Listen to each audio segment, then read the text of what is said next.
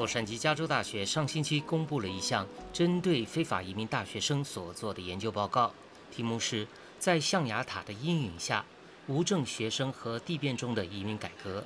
该校教育和信息研究的研究生院院长马塞洛·苏亚雷斯·奥罗斯科也是报告的主要调查员之一。他指出。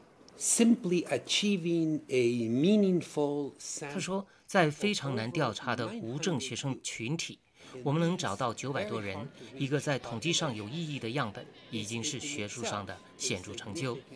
这九百零九个学生来自五十五个国家，他们进入美国的平均年龄只有六岁，百分之六十一的平均家庭年收入不到三万美元。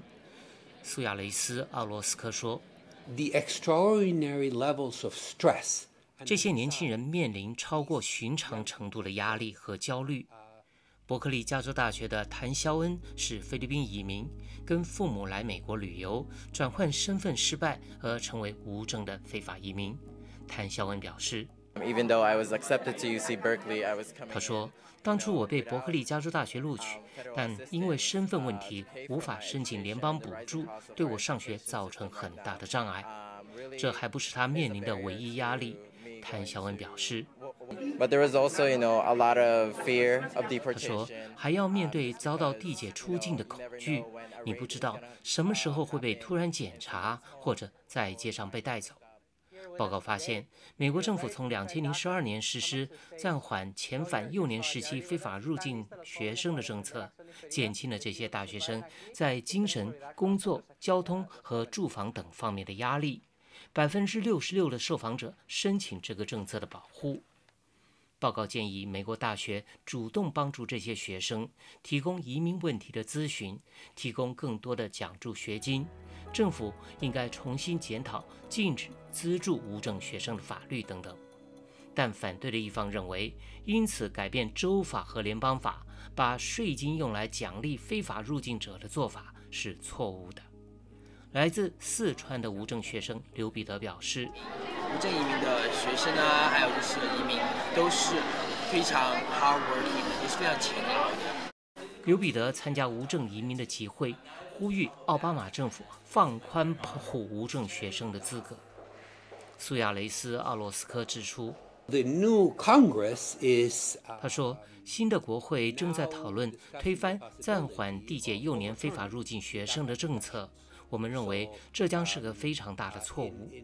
他指出，美国为无证学生提供了初级和中级教育，现在他们要进入科技和其他专业，都是美国经济发展需要的人才。苏亚雷斯·奥罗斯科举出这个研究报告的惊人发现。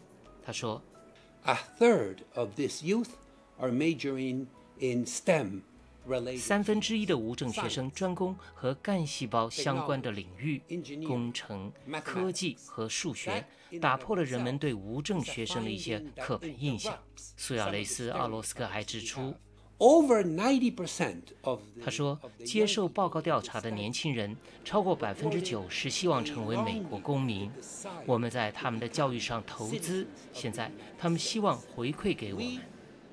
洛杉矶加州大学政治和电脑专业的学生莫拉密也是暂缓递解出境政策的受益者。他在一个捍卫这项政策的机会上表示：“Many students in the U.S.” 他说，在美国受益于这个政策的许多学生都非常努力，追求学位和梦想，将来希望能为美国出力。以上是美国之音记者国福从洛杉矶发来的报道。